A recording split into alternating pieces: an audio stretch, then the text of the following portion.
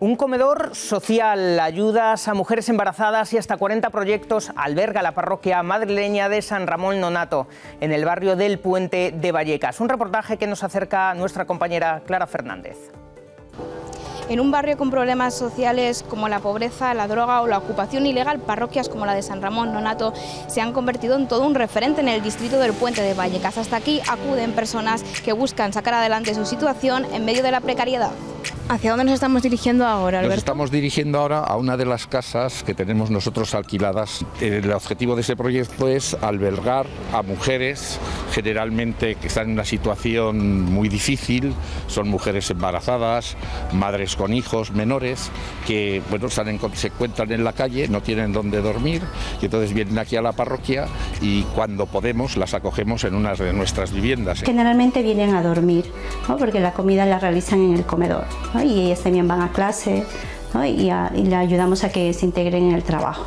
Ángel Nogueras fue acogido en uno de estos pisos. Gracias a este proyecto de la parroquia ha conseguido estabilizar su situación. Me acogieron desde el, desde el 2014, fui a la residencia Nazaret y de ahí estuve seis meses y luego me ayudaron nuevamente durante tres meses en unas habitaciones pagando el alquiler Caritas hasta que yo encontré el trabajo. Y así en la parroquia fueron surgiendo 40 iniciativas como un ropero, un departamento de geriatría, Cáritas, un despacho de atención a madres o un comedor social en el que se da comida diario a casi 300 personas y en los que colaboran voluntarios como Susana. Es eso, una mano amiga, una mano que los ayuda, que los comprende. Gracias a la labor de Susana y de los 300 voluntarios de San Ramón Nonato, son muchas las personas a las que les ha cambiado la vida.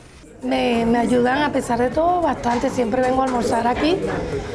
También viene mi esposo. Y todo con la evangelización y la acción social como bases fundamentales. Aquí viene muchísima gente a pedir ayuda.